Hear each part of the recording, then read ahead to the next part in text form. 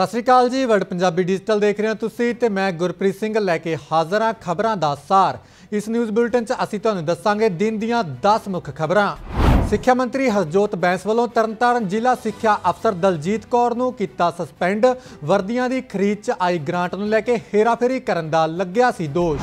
ਮੁੱਖ ਮੰਤਰੀ ਭਗਵੰਤ ਮਾਨ ਅੱਜ ਤੋਂ 2 ਦਿਨਾਂ ਤੇਲੰਗਾਨਾ ਦੌਰੇ ਤੇ ਪੰਜਾਬ 'ਚ ਪਾਣੀ ਦੀ ਸੰਭਾਲ ਲਈ ਸਿੰਜਾਈ ਵਿਭਾਗ ਦੇ ਅਧਿਕਾਰੀਆਂ ਨਾਲ ਕੀਤੀ ਮੀਟਿੰਗ ਤੇ ਤੇਲੰਗਾਨਾ ਡੈਮ ਦਾ ਕੀਤਾ ਨਿਰੀਖਣ।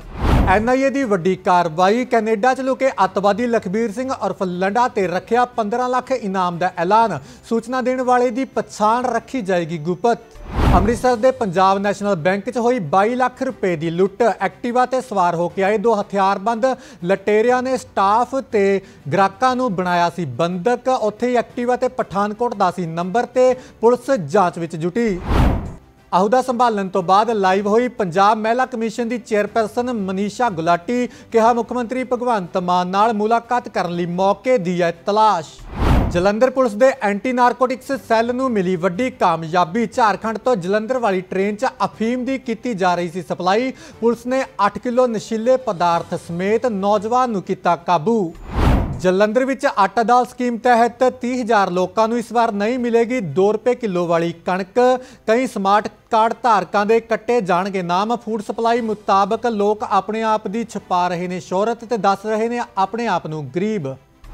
ਬੀਬੀਸੀ ਦਫ਼ਤਰਾਂ 'ਚ ਇਨਕਮ ਟੈਕਸ ਦਾ ਸਰਵੇ ਆਪਰੇਸ਼ਨ ਲਗਾਤਾਰ ਤੀਸਰੇ ਦਿਨ ਵੀ ਜਾਰੀ। ਮੰਗਲਵਾਰ ਸਵੇਰੇ 11:30 ਵਜੇ ਦਿੱਲੀ ਤੇ ਮੁੰਬਈ ਦੇ ਬੀਬੀਸੀ ਦਫ਼ਤਰਾਂ 'ਚ ਸ਼ੁਰੂ ਹੋਈ ਸੀ ਕਾਰਵਾਈ। ਹੁਣ ਤੱਕ 45 ਘੰਟਿਆਂ ਤੋਂ ਵੱਧ ਦਾ ਹੋ ਚੁੱਕਿਆ ਸਮਾਂ।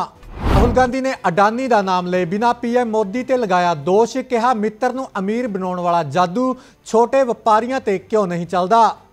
ਛੱਤੀਸਗੜ੍ਹ 'ਚ ਬੇਜ਼ੁਬਾਨ ਕੁੱਤੇ ਨੇ ਵਫਾਦਾਰੀ ਦੀ ਮਿਸਾਲ ਕੀਤੀ ਕਾਇਮ। ਤਲਾਸ਼ੀ ਮੁਹਿੰਮ ਦੌਰਾਨ ਆਈਈਡੀ ਪ੍ਰੈਸ਼ਰ ਬੰਬ ਤੇ ਬੈਠ ਕੇ ਬਚਾਈ ਆਈਟੀਬੀਪੀ ਜਵਾਨ ਦੀ ਜਾਨ।